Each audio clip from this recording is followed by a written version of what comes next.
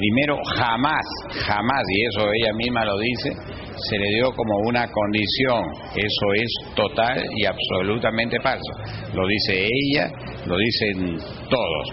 Lo segundo es que sí hay un aporte, por lo menos de la información que tengo al respecto, y lo dio dentro de los términos y en forma graciosa. O sea, como aporta, aportó lo Claro. que la ley permite. O sea, no hay que- ninguna, Claro, lo que llama ninguna la ilegalidad. atención, claro, cuando no- de pronto sí. ha salido este monto, doctor, o sea, de pronto salió este monto y esto de la ley de partidos, ahí ya todo el mundo dijo, comenzó a decir, da la impresión, ¿no?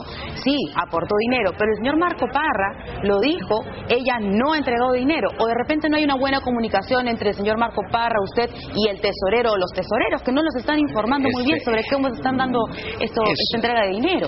Sí, fíjese, una, una cosa, obviamente han habido algún tipo de, de confusiones o cosas por el estilo por lo repentino que se ha presentado esto, pero las cosas son bastante claras en Solidaridad Nacional, siempre se ha estado presentando y dando los reportes al Jurado Nacional de Elecciones o al, organismo respectivo, o sea, siempre se ha estado informando.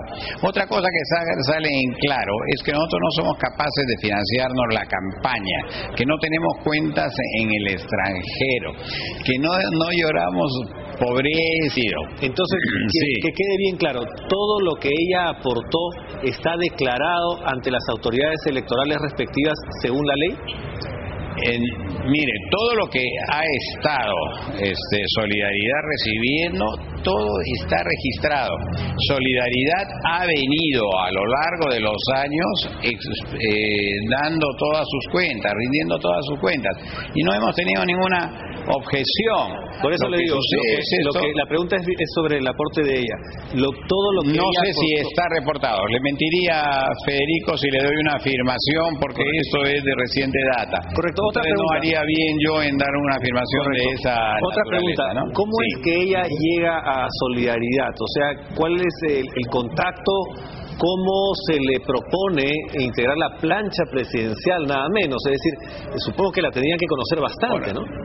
Mire, mire Federico, es- se toma contacto con ella, se le conoce, yo la conocía además desde la época eh, que fue casada con César Acuña, cuando incluso él fue candidato de Solidaridad Nacional. Es- y de ahí ha tenido relaciones con distintos miembros y acercamientos con distintas personas de solidaridad. Luego a mí me ha acompañado cuando he estado en en el programa Lucho de Escucha en Piura y en Trujillo y en Chimbote me ha acompañado, si no es alguna otra provincia más. O sea, digamos, hay una, una amistad, digamos, ya de hace bastante tiempo. Sí, Una amistad. no, Pero de hay- repente, yo la conozco hace muchísimo tiempo y es más, hay una comisión, lo, lo vieron distintas personas y yo la vi trabajar y es una persona bastante Claro. empeñosa que trabaja muy bien.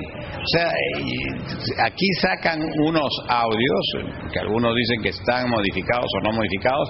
Le mentiría si le digo también que yo lo he leído por principio, por principio yo soy renuente a ese tipo de, de grabaciones y de cosas por el estilo.